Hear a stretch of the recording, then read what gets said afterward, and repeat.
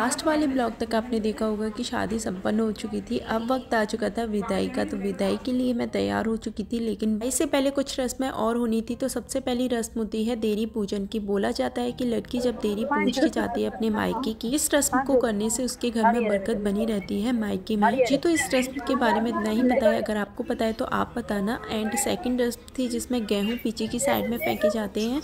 इस रस्म से क्या कहते हैं क्या बोलते हैं ये मुझे नहीं पता है। अब वक्त आ चुका था विदाई का तो विदाई में बहुत ज़्यादा रोना धोना हुआ था। सबसे ज़्यादा रोना धोना मेरा ही हुआ था, क्योंकि मुझे पता था, अगर एक बार मेरा रोना स्टार्ट हो गया तो बंद नहीं होगा, मेरी तबीयत ख़राब हो जाएगी। फिर भी वही हुआ था जो मैंने सोचा था। मैं रोना नहीं चाह रही थी, मैं पहले रोई भी नहीं थी कि मैंने कहा शांति से मैं चली जाऊँ, लेकिन वो मम्मी को देख के हुआ ही नहीं, क्योंकि रोना धोना आ ही जाता है फिर।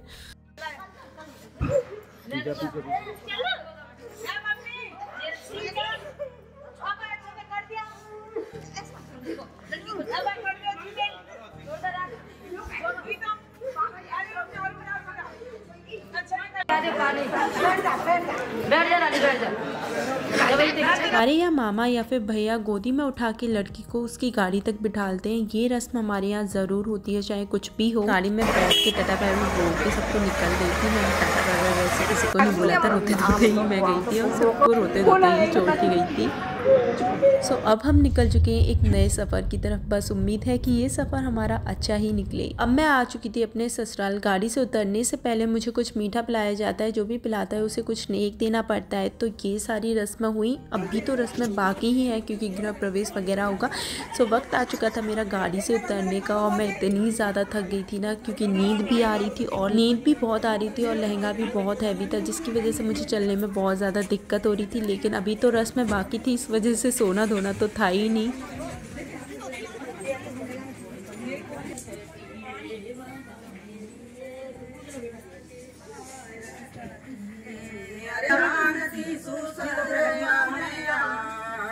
मैं अभी आके बैठ गई हूँ। इनके पुराने घर में जो कि पुस्तैनी घर है सी में सारी बहुएँ आती हैं। तो यहाँ आके अभी मैं फ़िलहाल अकेली बैठी हूँ। फिर जाऊँगी मैं अपने घर गृह के लिए। चलो मैं आपको थोड़ा सा रूम दिखाती हूँ तब तक। देखो।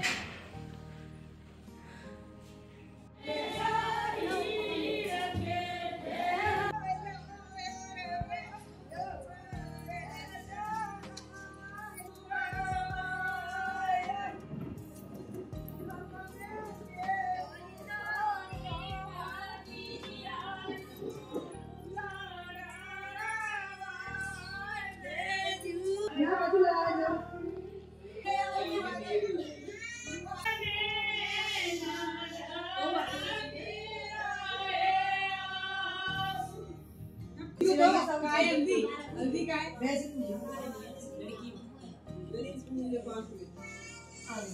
अब बताओ क्या करता तू? सीधा पैर रखियो मैं सीधा पैर और तू भी सीधा पैर रखियो। पैर पे गिरेगा सीधे वाले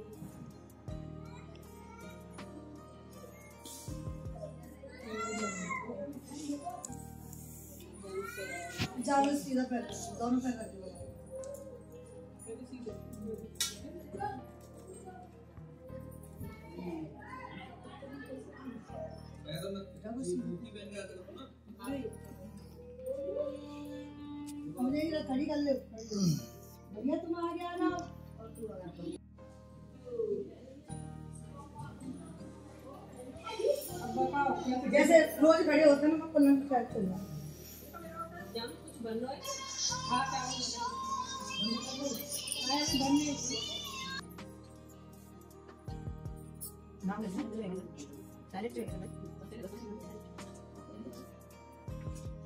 ऐसी कंदन ने हिला दे पकड़ के। कंदन ने कंदन ने पकड़ हिला दे डांस कर रही है सास को हाँ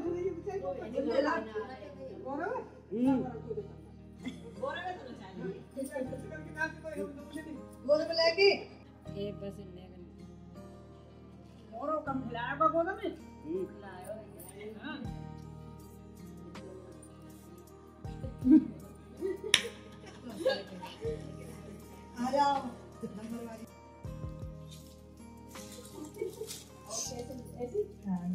मौसी ऐसे ना है जी चाची ने करेगा ऐसे ना। मौसी ताकत थी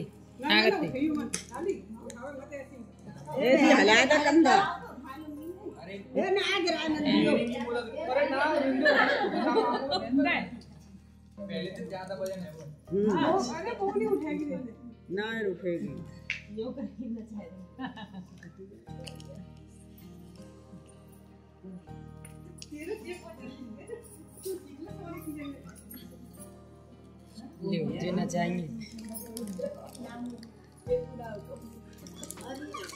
सोनू तो कंधा बदल लो सोनू को क्योंकि उनकी बात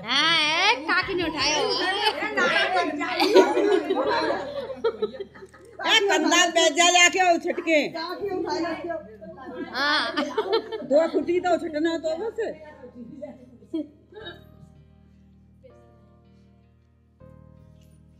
गृह प्रवेश होने के बाद अब जितनी भी रस्में थी ना, वो सब हो चुकी थी। लास्ट में अब मुझे दीपक जलाना था, तुलसी मैया पर तो मैं दीपक जलाती हूँ।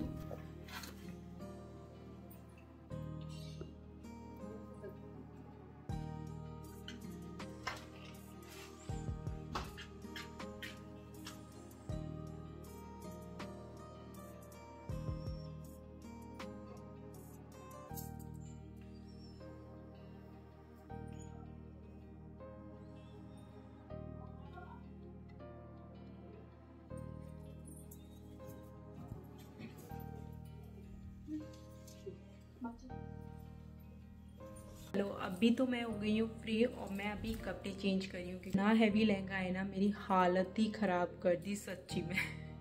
चलो, पहले मैं कर लेती हूँ कपड़े चेंज उसके बाद आपसे मिलूँगी। तो रात को गाँव की औरतें आई थी गाना सुनने और डांस देखने, नई बहू का लेकिन मुझे तो ना गाना गाना आता है, ना डांस करना आता है।